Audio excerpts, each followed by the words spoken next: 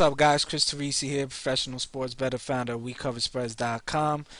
NCAA title game market breakdown, smart money report video, whatever you want to call it. We're going to get in depth, behind the scenes, talk to a lot of my sources today, so give you guys an outlook on kind of what's going on behind the betting counter, in front of the betting counter, um, etc., etc. If you guys want today, I have a five star bet in the NBA not in college basketball. You get it how I bet it. So I found a bigger edge in, the in an NBA game today than I did actually in this NCAA title game. I do have a four-star college basketball bet, so you get my five-star um, NBA bet and four-star college basketball bet on the title game you know, included in my pass so you could pick that up on the site.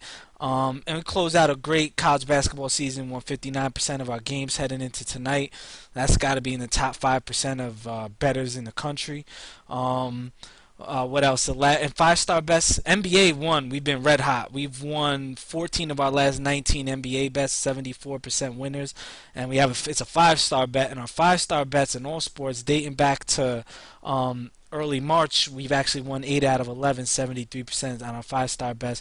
And we've been red hot, you know, lately. So look to keep it going. Hopefully, we sweep the board 2 0 with our bet in college basketball and our bigger bet in the NBA. Um, all right, let's get into let's get into this market breakdown. Um, we'll talk about the tournament game tonight. So everybody wants to know what's going on. This is what's going on. As the day progresses, you're starting to see more and more and more tickets come in on Kentucky, um, especially on the point spread. You're looking at about almost seven out of ten bets coming in on Kentucky on the point spread. Um, little more than three out of five bets on the over, and you're looking at about a little bit more out of three out of five bets with Kentucky and parlay. So Kentucky is the more popular play today um, from the recreational betting public. Now, that's from your $50, $100, $200, $300, $400, $500 regular betters or whatever. Um, as far as sharps go, smart money, the big money, they all love Kansas. Um, it, it really doesn't matter who I spoke to, whether it was local here in New York, spoke to a guy in Vegas. Um, sharp bettors really like Kansas today. Um, and you know we'll get into it a little bit more as we actually as I, I explain to you kind of how the market shifted with this whole game from when it opened. This game here it opened here in my local books.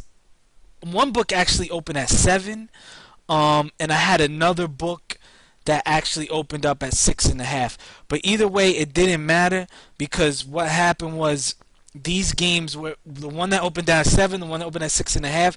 It was bet down to six within hours, like within maybe an hour or I think about an hour, it was down to six.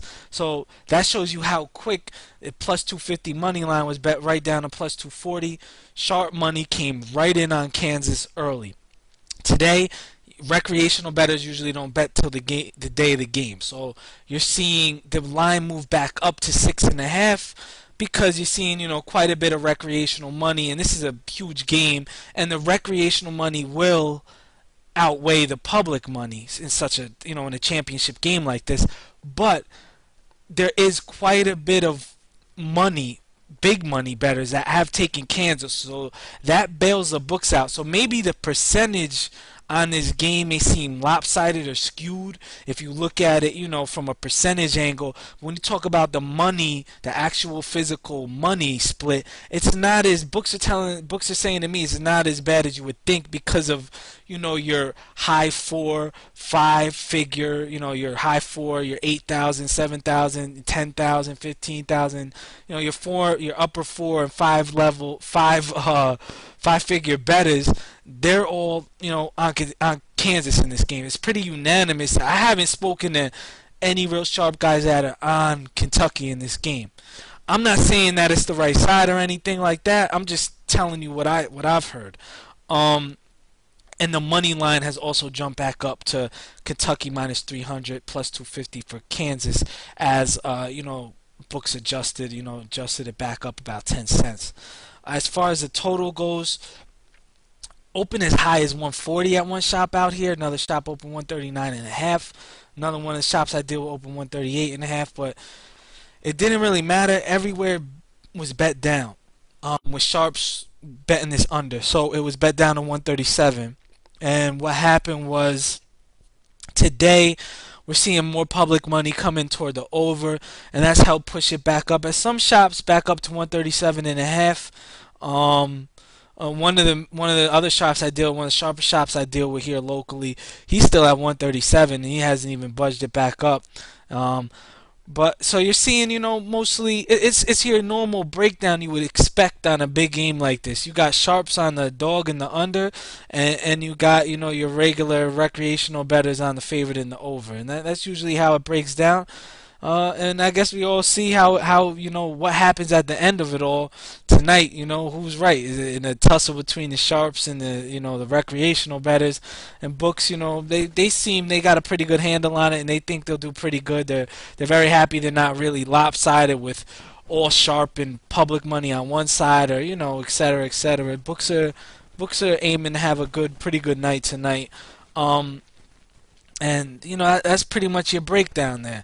And then as far as like NBA, there's really you know I found one game that I, I had a really strong opinion on, but there hasn't been too many you know real big NBA moves. The recreational move of the day though in NBA is the Oklahoma City Thunder being tied in with Kentucky. They're telling me that's a pretty popular parlay. That's definitely you know popping up here and there and I'm hearing you know from from local you know local guys I deal with they're telling me the Sacramento Kings was a pretty big sharp move um, and they're also telling me that that sharps kind of did bail them out and take Memphis against Oklahoma City they did take the eight which moved that down to seven and a half um, so that's pretty much about it that wraps up our you know NCAA title game market breakdown I uh, hope you all make money tonight and do good. And like I said, if you guys want, go to wecoverspreads.com. You could pick up, you know, my five star NBA bet and my my bet on this uh, title game here. Best of luck.